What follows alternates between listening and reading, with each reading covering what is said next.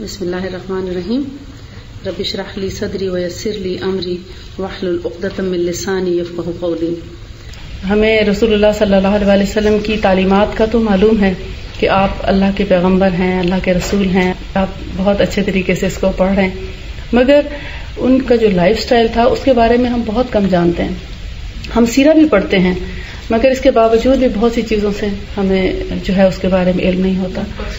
जो खास तौर पर जो उनकी पर्सनल लाइफ है, उनके दिन का आगाज़ कैसे होता है मुख्तसर दिन भर में वो क्या करते हैं? अपने घर में और घर से बाहर जाते हैं और मतलब सारा कुछ उनका जो दिन भर के हमारे एक रोज़ाना के मामूलात के जो काम होते हैं, और रात तक उनकी क्या मसरूफियात रहती हैं और उसमें वो क्या अमल करते हैं? खाना उनका बहुत सादा, बहुत सिंपल खाने में जो चीज़ें हैं वो बहुत सादा। और उसमें, यानी रोटी आप अगर खा रहे हैं तो कभी गंदम की रोटी नहीं खाई नबी सल्लल्लाहु अलैहि वसल्लम ने। न कभी मैदे की रोटी खाई, हमेशा जौ की रोटी खाई। पानी ताज़ा पीते थे, लेकिन एक रात रख के पीते थे। मटके में होता या चमड़े की मशक में होता तो उसमें वो फ़िल्टर हो जाता था पानी।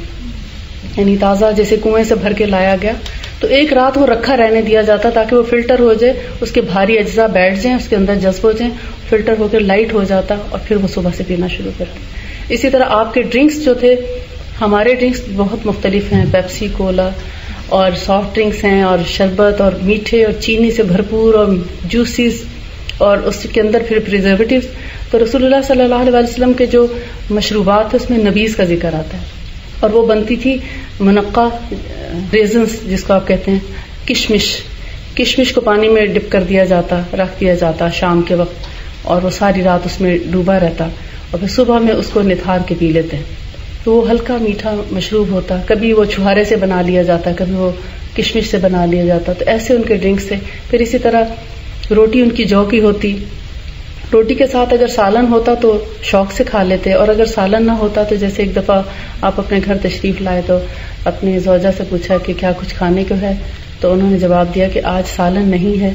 तो आपने पूछा कुछ और है तो उन्होंने कहा कि सिरका है। तो आपने फरमाया हाँ सिरका बहुत अच्छा सालन है, सिरका बहुत अच्छा सालन है। और आपने सिरके से रोटी खा ली। इसी तरह कभी आप खजूर से रोटी खा लेते हैं, कभी आप किसी भी फल से रोटी खा लेते हैं।